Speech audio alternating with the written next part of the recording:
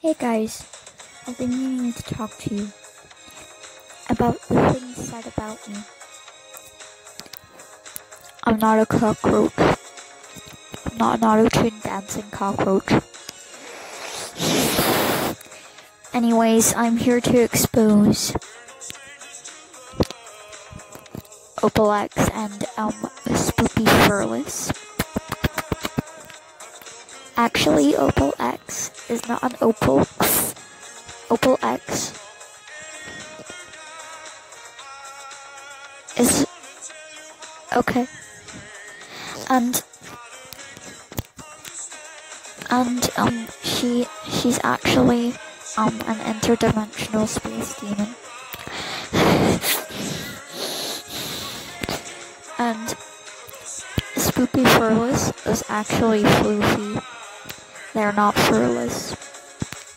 They're floofy. Uh, we have all been lied to. All of us have been lied to. I'm sorry I had to uh, end end my career like this.